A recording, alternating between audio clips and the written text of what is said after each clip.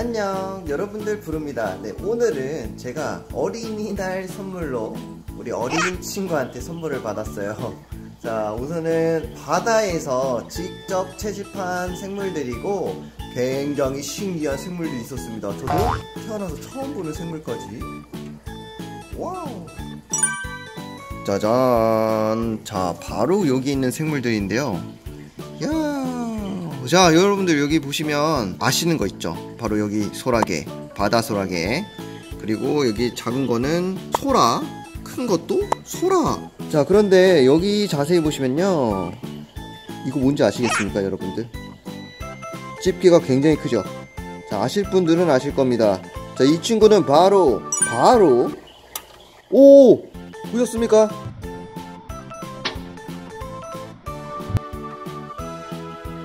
와 방금 물을 쏴가지고 소리가 났어요. 이게 바로 딱총새우라는 친구인데요. 이 친구 같은 경우에는 자 팔에 있는 집게로 물을 응축시켜서 발사를 합니다.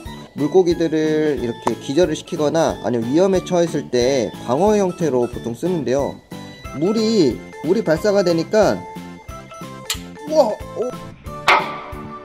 어, 소리 들렸어요? 자 이거 제가 낸 소리가 아니라 이 새우가 낸 소리거든요.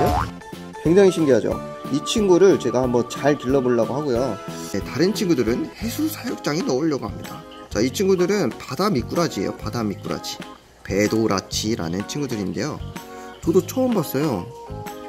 등에 무늬가 조금 다양하고 좀 이쁜 것 같아요 나름 우리 그냥 민물 미꾸라지랑 확실하게 다르죠?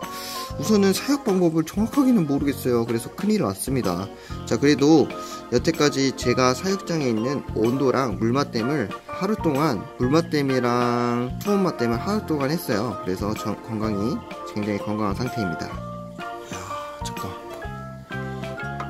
소라를. 오 야 딱정새우 저 집게 보이시죠?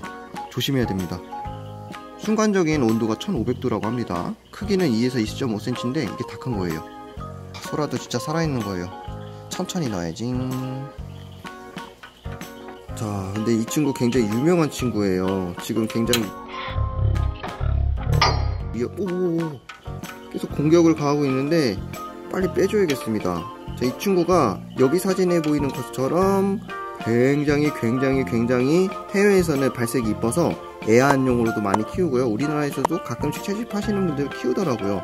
제가 한번 키워보려고 합니다. 자 키우기 2탄으로 제가 나중에 찾아뵙도록 할게요.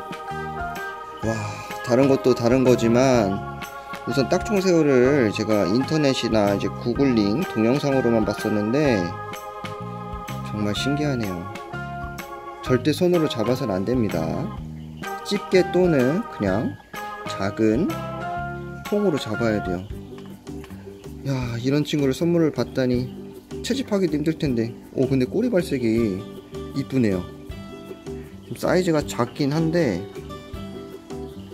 사이즈가 작아요. 사이즈가 작은데 어, 그래도 이 정도면 매력 포인트가 확실히 있습니다. 집게가 두꺼워가지고. 잘 키워보도록 할게요. 자 그리고 여기 있는 소라게는 몸에 이끼가 엄청 많이 붙어있네요 엄청 커요. 이 친구는 제가 자연에서 보던 그 소라게랑 다르게도 엄청 큰 지그를 잡아다 주었어요. 자 우선 딱총새우는 따로 키워야겠고 이 친구들은 니모랑 함께 합사를 해야겠습니다.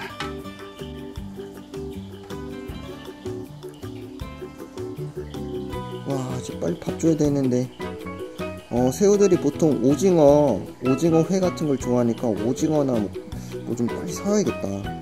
빨리 세팅해가지고 아, 이 친구들 습성이 이 친구들 습성이 돌틈 사이에 있거나 아니면은 모래에 숨어서 사냥을 하는 본능이 있다고 합니다. 자, 오늘 빠르게 세팅해야겠어요.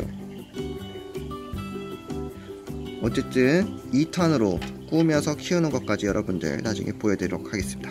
자 해가지고 오늘은 여기까지 하고요. 제가 다음에 더 재밌는 영상을 찾아뵐게요. 다음에 봐요. 안녕